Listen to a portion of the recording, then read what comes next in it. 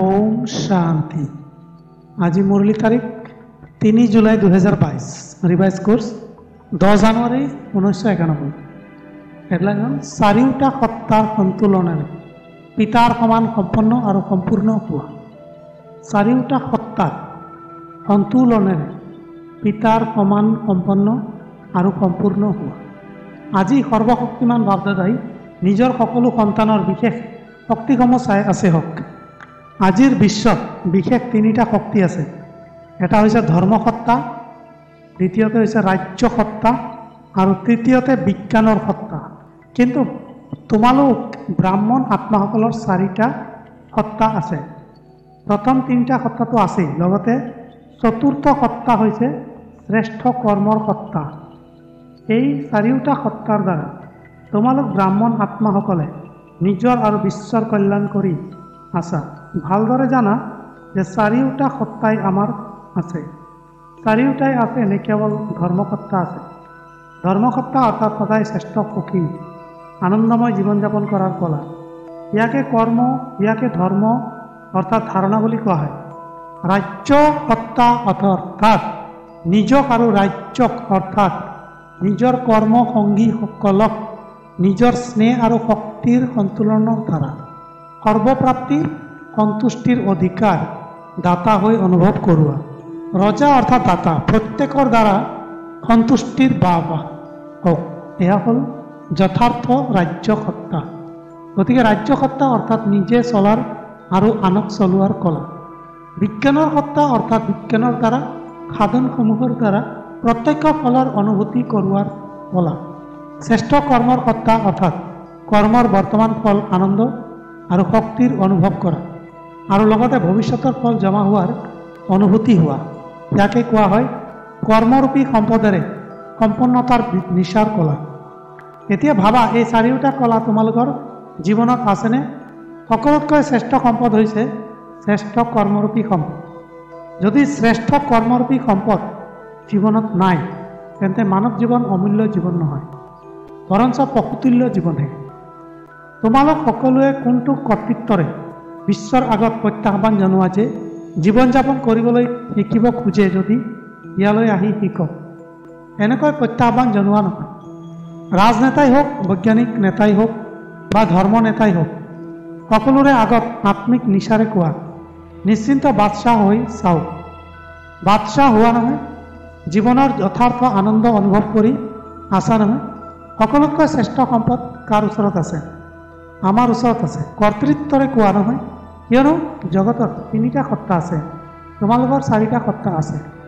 আৰু চাৰিওটা সত্তাৰেই সন্তুলন এয়াই পিতাৰ সমান সম্পন্ন আৰু সম্পূৰ্ণ স্থিতি। তপস্যা বৰ্ষত কি কৰিবা? এই চাৰিওটা সত্তা পৰীক্ষা কৰিবা। চাৰিওটা সত্তাৰ আধাৰত একৰস স্থিতিৰ আসন সদায় অচল অটল হৈ থাকিব। তপস্যা সদায় আসনত বহি কৰে। গতিকে এই চাৰিটা সত্তাৰূপী চাৰিখন ভৰিয়ে একৰস স্থিতিৰ আসনক মজবুত কৰিব। সকলো সময়ত নিশ্চিন্ত বাদশ্বাহৰ অনুভৱ কৰাব। বাদশ্বাহ অৰ্থাৎ অধিকাৰী আৰু প্ৰজা অৰ্থাৎ অধীন হৈ থাকিবলগীয়া হয়। গতিকে তোমালোক নিশ্চিন্ত বাদশ্বাহ হোৱা, নিশ্চিন্ত প্ৰজা নহয়, ৰাজযোগী হোৱা, প্ৰজাযোগী নহয়। এই নিশ্চিন্ত বাদশ্বাহৰ কি লক্ষণ দেখিবলৈ পোৱা যায়? যিমানে অধিকাৰী সিমানে সকলোৰে সৎকাৰী। কেৱল অধিকাৰী নহয়, অধিকাৰীৰ চিনাক্তকৰণেই সৎকাৰৰ দ্বাৰা হয়। শুনাইছিলোঁ নহয় যে যোগ্য ৰজাৰ লক্ষণ হ'ল সকলোৰে দ্বাৰা সন্তুষ্টিৰ পুষ্প বৰ্ষা হওক, বাহ বাহ, গীত হওক। এনেকুৱা ৰাজ্য সত্তা প্ৰাপ্ত কৰিছানে? প্ৰথমে নিজৰ সমীপৰ কৰ্ম সংগী কৰ্মেন্দ্ৰিয়সমূহক পৰীক্ষা কৰা, যে মোৰ অৰ্থাৎ আত্মা ৰজাৰ স্নেহ আৰু শক্তি, অৰ্থাৎ স্নেহ আৰু বিধি, দুয়োটাই সদায় আদেশ অনুসৰি চলে নে কেতিয়াবা কেতিয়াবা চলে? বাধ্যত পৰি চলে নে স্নেহেৰে চলি আছে? কেৱল দেখুৱাবৰ বাবে নে অন্তৰতে এনেকৈ গোটেই দিনটোৰ দিনচৰ্যাত নিজৰ কৰ্মৰ সম্বন্ধীয় বা কৰ্মৰ সংগীসকলক চোৱা। তেওঁলোকৰ লগত সৰ্বসম্পৰ্কত অহা আত্মাসকলক চোৱা যে মোৰ অৰ্থাৎ ৰাজ্য অধিকাৰী আত্মাৰ দ্বাৰা কিমান শতাংশ আৰু কিমান সন্তুষ্ট হৰ্ষিত হৈ থাকিল এয়া হ'ল ৰাজ্য সত্তাৰ যথাৰ্থ অনুভূতি। বিজ্ঞানৰ সত্তাৰ পৰীক্ষা কেনেকৈ কৰিবা? সদৰ সীমিত বিজ্ঞানে সদৰ স্থূল বা সাধনসমূহৰ দ্বাৰা সুখ আৰামৰ অনুভূতি কৰায়। তোমালোকৰ বিজ্ঞান হৈছে যুগ শক্তি যুগ অতিকৈ শ্ৰেষ্ঠ বিজ্ঞান। তাত হৈছে সাধন আৰু ইয়াত হৈছে সাধনা। আত্মাক মন আৰু বুদ্ধিৰ সাধনাৰ দ্বাৰা কিমান দূৰলৈ লৈ যোৱা? হদৰ বৈজ্ঞানিক সূৰ্যলৈকে যাব নোৱাৰে আৰু বেহদৰ বৈজ্ঞানিক চন্দ্ৰমা সূৰ্যৰো ইপাৰে মন আৰু বুদ্ধিৰ সাধনাৰ দ্বাৰা কিমান সময়ত গৈ উপস্থিত হোৱা? আৰু কিমান খৰচ হয়? সময়ক ধন বুলি কোৱা। স্থূল ধনটো নালাগে কিন্তু সময়ৰ ধনো নালাগে। তেন্তে কিমান শ্ৰেষ্ঠ বিজ্ঞান? তেওঁলোকে শীত তাপ নিয়ন্ত্ৰণ যন্ত্ৰৰ দ্বাৰা সুখ দিয়ে আৰাম দিয়ে আৰু তোমালোকে সাধনাৰ দ্বাৰা যেতিয়াই বিচৰা তেতিয়াই শীতল স্থিতিৰ অনুভৱ কৰা। যেতিয়াই বিচৰা তেতিয়াই জ্বলাৰ ওপৰ শক্তিৰ ওপৰ অনুভৱ কৰিব পাৰা। সদৰ বিজ্ঞান অলপ সময়ৰ কাৰণে আৰাম দিয়াৰ নিমিত্ত হয় কিন্তু তোমালোক সদায় আৰামত থাকা। শান্তিৰ নিদ্ৰাত খোৱা শান্তিৰে উঠা আৰু শান্তিৰে সকলো কাম কৰা। অশান্ত হোৱা নেকি? যেতিয়া আসনৰ পৰা নামি যোৱা তেতিয়া অশান্ত হোৱা। নহ'লেতো অশান্তিৰ নাম চিহ্ন নাই। বিজ্ঞানে আৰু কি কৰে? মনোৰঞ্জনৰ সাধন দিয়ে। আৰু তোমালোকৰ মন দুখী নহয়েই যে হদৰ মনোৰঞ্জনৰ আৱশ্যক হ'ব। কিয়নো দুখী তেতিয়া হোৱা যেতিয়া মনত দাস হোৱা। দাস হোৱা নেকি? নে কেতিয়াবা কেতিয়াবা তেষষ্ঠি জন্মৰ সংস্কাৰ আহি যায়? এতিয়াতো বাচ্চা হৈ গ'লা নহয়। দাসো নোহোৱা দুখীও নোহোৱা সেয়েহে মন সদায় আনন্দিত হৈ থাকে। একান্তত থাকিলে তেতিয়াও আনন্দিত হৈ থাকা। সংগঠনত থাকিলে তেতিয়াও আনন্দিত হৈ থাকা। সদায় আনন্দদাতা মালিক পিতাৰ লগত থকা। নহয়নে? কেতিয়াবা কেতিয়াবা বিতুষ্ট হৈ যোৱা। বিতুষ্ট নহ'বা। মন অথবা মুখ ঘূৰাই নিদিবা। এনেকৈ পৰীক্ষা কৰা যে বিজ্ঞানৰ সত্তা কিমানলৈকে অবিনাশী হৈ থাকে। ধৰ্মসত্তাৰ ক্ষেত্ৰতো একে কথা। ধৰ্ম অৰ্থাৎ শ্ৰেষ্ঠ জীৱন যাপন কৰাৰ কলা। এই ধাৰণাই হৈছে ধৰ্ম। তোমালোক সকলোতো ধৰ্ম আত্মা হোৱা আৰু শ্ৰেষ্ঠ কৰ্ম আত্মা হোৱা। গতিকে এইটো পৰীক্ষা কৰা যে ব্ৰাহ্মণ জীৱন যাপন কৰি আছানে? ব্ৰাহ্মণ জীৱন অৰ্থাৎ সদায় নেতিবাচক সংকল্প পৰা মুক্ত, বিঘিনিৰ পৰা মুক্ত, বিকৰ্মৰ পৰা মুক্ত, সদায় নিৰাকাৰী কথা আকাৰী। ইয়াকে জীৱন যাপনৰ কলা বুলি কোৱা হয়। য'ত কোনো হদৰ ইচ্ছা নাই, কোনো অপ্ৰাপ্তি নাই। সদায় এইটো গীত গাই থাকিব, যি পাবলগীয়া আছিল সেয়া পাই গ'লোঁ। ইয়াকে ধৰ্মসত্তা বুলি কোৱা হয়। এতিয়া ভাবা চাৰিওটাই সত্তা আছেনে? চাৰিওখনে ভৰি একৰস হয়নে? নে এখন চুটি এখন দীঘল? চাৰিওখনে ভৰি একৰস হ'ল তেতিয়াহে অচল অটল হ'ব নহ'লে অস্থিৰ হ'ব। গতিকে শুনিলা কি চাই আছিলে? প্ৰত্যেক সন্তানৰ চাৰিওটা সত্তা কিমানলৈকে জমা আছে? আনন্দেৰে জীয়াই থাকোঁ তাক কোৱা নহয়। বাধ্যত পৰি জীয়াই আছে চলি আছে চলিব লাগে। ইয়াক জীয়াই থকা বুলি কোৱা নহয়। কেতিয়াবা মৰে কেতিয়াবা জি উঠে। কেতিয়াবা শ্বাসৰুদ্ধ হৈ যায় কেতিয়াবা ঢিলা হৈ যায় কেতিয়াবা তীব্ৰ হৈ যায়। এয়া কোনো জীয়াই থকা নহয় বাৰু কোনোবা ভগ্নীৰ কিবা অসুবিধা? ছেকেণ্ডত জ্যোতি ফুলিষ্টপ লগাব জানানে নে? সময় লাগে। যি হৈ গ'ল, সেয়া অতীত হৈ গ'ল। জ্যোতি লগাই দিয়া, এয়াই বিজ্ঞান। বিজ্ঞানেও বস্তু মচি দিয়ে নহয়। বেহদৰ বিজ্ঞানৰ সত্তাৰে ছেকেণ্ডত বিন্দু লগোৱা, অৰ্থাৎ জ্যোতি লগোৱা। ইয়াৰ বাবেই তপস্যাৰ সোণালী সুযোগ পাইছে। কিয়নো চূড়ান্ত কাকতত চাৰিওফালে প্ৰকৃতিৰ পাঁচতত্ব আৰু পাঁচ বিকাৰ সকলোৱে মিলি অস্থিৰতা আনিবলৈ প্ৰয়ত্ন কৰিব। অতি অস্থিৰতাত ছেকেণ্ডত অচলাচল হৈ থকা সকলহে সন্মান সহকাৰে উত্তীৰ্ণ হ'ব। এনেকৈ নাভাবিবা যে অন্তিমত একান্তত বহি কাকতৰ সন্মুখীন হ'ব লাগে। অতি অস্থিৰতাত অতি অচল অটল। এয়া হ'ল কাকত এয়াই প্ৰশ্ন আহিব। সেয়েহে এতিয়াৰ পৰা অভ্যাস কৰা। বাহিৰৰ অস্থিৰতাই যাতে মনক অস্থিৰতাত নানে ইয়াকে বিজয় ৰত্ন বুলি কোৱা হয়। বাৰু চাৰিওফালৰ শ্ৰেষ্ঠ কৰ্ম সত্ৰধাৰী শ্ৰেষ্ঠ ধৰ্ম সত্ৰধাৰী আত্মাসকলক ব্যাঘাতৰ বিজ্ঞানৰ সত্ৰধাৰী সাধনাস্বৰূপ আত্মাসকলক ৰাজ্য সত্তাধাৰী স্বৰাজ্য অধিকাৰী আত্মাসকলক শ্ৰেষ্ঠ কৰ্ম সত্তাধাৰী কৰ্মযোগী আত্মাসকলক বাপদাদাৰ নিশ্চিন্ত বাদশাহ কৰি তোলা পিতাৰ স্নেহপূৰ্ণ স্মৰণ আৰু নমস্কাৰ। বাৰু আজি শিক্ষকসকলেও ত্যাগ কৰিছে। সকলো শিক্ষক পিছত বহি আছে। গতিকে ত্যাগৰ ভাগ্যস্বৰূপ স্নেহপূৰ্ণ স্মৰণ বিশেষভাৱে স্বীকাৰ কৰিব।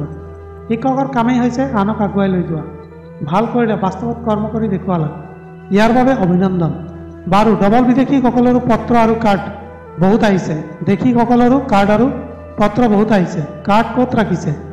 অন্তৰৰ সন্দুকটো সাৱধানে ৰাখি থোৱা আছে। যিসকলে নতুন বছৰৰ বিশেষ স্নেহপূৰ্ণ স্মৃতি পঠিয়াইছে তেওঁলোকৰ লগতে সকলো সন্তানক নতুন বছৰৰ সকলো সময়ত নবীনতাৰ বাবে অভিনন্দন অভিনন্দন। এতিয়া বিশ্বত এক উদাহৰণ হৈ দেখুওৱা। যে কৰ্মযোগী স্থিতিৰ কি চমৎকাৰ হয়। যিসকল উদাহৰণ হয়, ড্ৰামাত পৰীক্ষাৰ সময়ত তেওঁলোকে অতিৰিক্ত নম্বৰ লাভ কৰে বা দলসমূহৰ সৈতে অব্যক্তভাৱে সাক্ষাৎ। পিতাৰ লগত থাকি শ্ৰেষ্ঠ স্থিতিৰ অনুভৱ সহজে কৰি আছা নহয়। দিনে ৰাতিয়ে পিতাৰ সান্নিধ্যৰ অনুভূতি কৰিলে সহজে শ্ৰেষ্ঠ অনুভৱ কৰি থাকিবা। কিয়নো সমীপতাৰ পৰা শক্তি পোৱা যায়। যেনেকৈ আকাৰত সমীপত থাকিবলৈ সহজ হয়, তেনেকৈ অব্যক্ত ৰূপত যিমানেই মনোযোগ দি থাকিবা সিমানেই সহজে অনুভৱ কৰি গৈ থাকিবা। সকলো নিৰন্তৰ যোগী হোৱা নহয় যোগী জীৱনধাৰী হোৱা। জীৱন নিৰন্তৰ হয় দুই ঘণ্টা নহয়। যেতিয়া এবাৰ অনুভৱ কৰি লোৱা যে পিতা মোৰ মই পিতা তেন্তে কেনেকৈ পৃথক হ'ব পাৰা? নিৰন্তৰ যোগী জীৱনত অতীন্দ্ৰিয় সুখ আনন্দৰ অনুভূতি হয় আৰু পৰিশ্ৰমো নাই। পৰিশ্ৰমৰ কাম কেতিয়াবা কেতিয়াবা কৰা হয়। আৰু যিটো সহজ হয় সেয়া সদায় কৰিব পাৰা। তেন্তে সহজ হয় নে কঠিন হয়? মায়াতো নাহে এই সময়ত নিচাত মগন হৈ আছা। সেয়েহে মায়া দেখিবলৈ পোৱা নাযায়। আকৌ তালৈ গ'লে কেতিয়াবা ক'বা তেতিয়া ক'বা কি কৰোঁ হৈ গ'ল নিৰন্তৰ স্থিতি ভাল। একমাত্ৰ পিতাৰ বাহিৰে আৰু উচ্চ আছেই বা কি? এটা হৈছে উচ্চ বস্তু প্ৰিয় হয় আৰু দ্বিতীয়তে যি মৰমৰ হয় সেইটোও প্ৰিয় হয়। গতিকে সকলোতকৈ মৰমৰ সকলোতকৈ উচ্চ পিতাই নহয় জানো? তেন্তে আৰু কি স্মৃতিলৈ আহিব? কেৱল মাজে মাজে নিজক পৰীক্ষা কৰি থাকা? যদি শতাংশৰ হিচাপত অলপো কম হয় তেন্তে বঢ়াই দিব লাগে। তেতিয়া মায়া হোৱাৰ স্থান নাথাকে। কিন্তু কি হয় চলোতে ফুৰোতে স্থিতি সাধাৰণ হৈ যায় আৰু ভাবে স্মৃতিটো আছেই পাহৰাটো নাই কিন্তু সাধাৰণ হৈ হৈ বিস্মৃতিৰ ফালে গুচি যায়। সেয়েহে সাধাৰণো হ'বলৈ নিদিবা। শতাংশৰ হিচাপত অলপো যদি কম হয় তেন্তে বঢ়াই লোৱা। তেতিয়া সদায় শক্তিশালী হৈ থাকিবা। শক্তিশালী আত্মাৰ ওচৰত মায়া আহিবলৈ সাহস নকৰে। মায়া আহক আকৌ যুদ্ধ কৰা ইয়াতে সময় গুচি যায় আৰু সংযোগ বিচ্ছিন্ন হৈ যায়। বিচ্ছিন্ন সংযোগ জোৰা লগোৱা তাত নিৰন্তৰৰ অন্তৰ আহি যায়। সেইকাৰণে সাধাৰণ স্থিতিও হ'বলৈ নিদিবা। এইটোও ভ্ৰান্তিত নাথাকিবা যে পিতাৰ স্মৃতিটো আছেই নহয়। কিন্তু সদায় স্মৃতিস্বৰূপ হওঁনে স্মৃতিস্বৰূপ অৰ্থাৎ শক্তিশালী। কেতিয়াবা কেতিয়াবা কাম ক্ৰোধ লোভ মোহ অহংকাৰ ডাঙৰ বিকাৰ নাহে কিন্তু নিজৰে স্বভাৱ বা নিজৰে সংস্কাৰে সাধাৰণ স্থিতি কৰি দিয়ে। এইটো অমনোযোগিতাৰ ৰূপতো মায়া আহে। নিত অধ্যয়ন কৰা মুৰলীও শুনা সেৱাও কৰা কিন্তু এনেকুৱা কেনেকৈ যেনেকুৱা হ'ব লাগে তেনেকুৱা নহয়। চলি আছা কিন্তু বেগ কিমান? চলি থকাৰ লগতে বেগো ভাল হওক। পিতাই সকলো সন্তানক সদায় উচ্চ স্থিতিত চায় আৰু সদায় উচ্চ স্থিতিত চোৱাৰ শুভ আশা ৰাখে।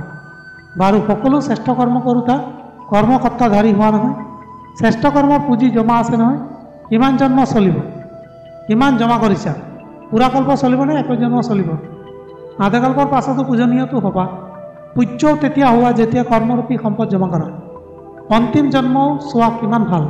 ভিকাৰীটো নহ'লা নহয় দাইল ৰুটিটো আছে। গতিকে যেতিয়া অন্তিম জন্মও ভাল তেন্তে বাকী জন্মটো অতি দুখী নোহোৱা। এয়াতো সুখৰ তুলনাত দুখী। বাকী এনেকুৱা দুখী নোহোৱা যে ফকীৰ হৈ ৰুটি মাগিবা। জগতৰ তুলনাত অতি দুখী নোহোৱা। সত্যযুগৰ হিচাপত দুখী হোৱা। বাৰু শিক্ষকসকলৰো ভাগ্য যে সেৱাৰ লটাৰী প্ৰাপ্ত হৈ যায়। লটাৰীটো সকলোৱে পায় কিন্তু তেওঁলোক বিশেষভাৱে সেৱাৰ লটাৰী পাইছে।